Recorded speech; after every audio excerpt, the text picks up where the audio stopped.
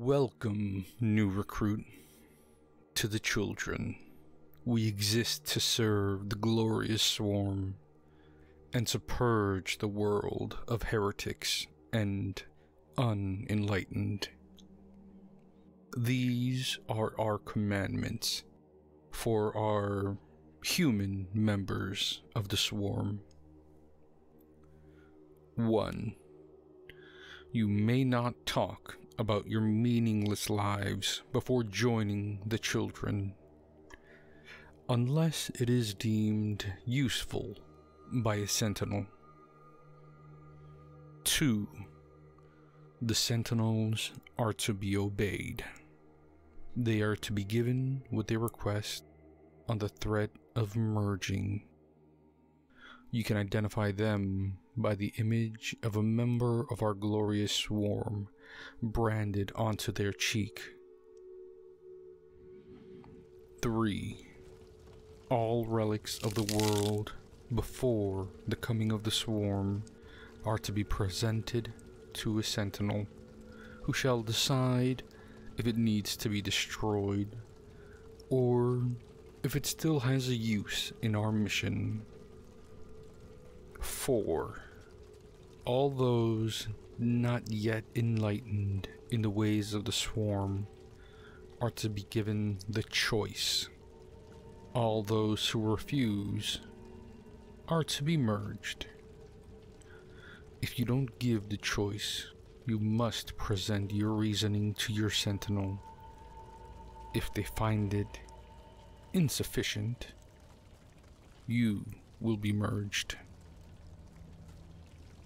5.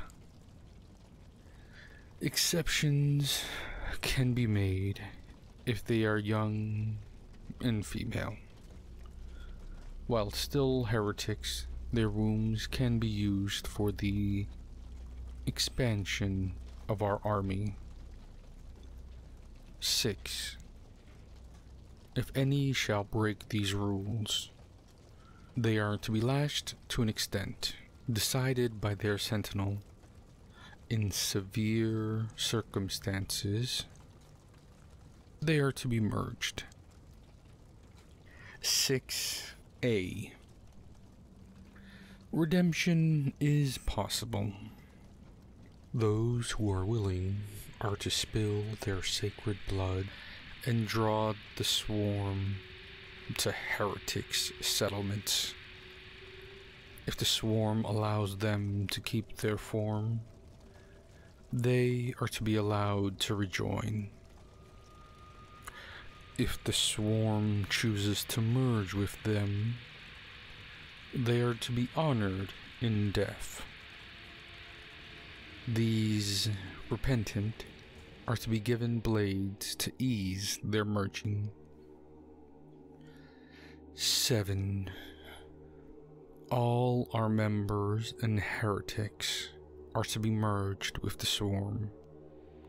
However, for traitors and the worst heretics, they are to be merged while breath is still in their form.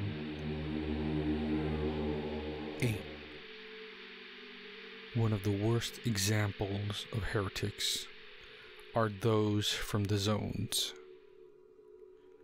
Bastards are the reason so many weren't able to experience the swarm's glory. All oppressors of the zones are to be merged.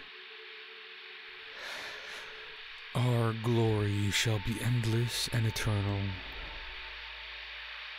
Soon all will either join us or merge with the swarm.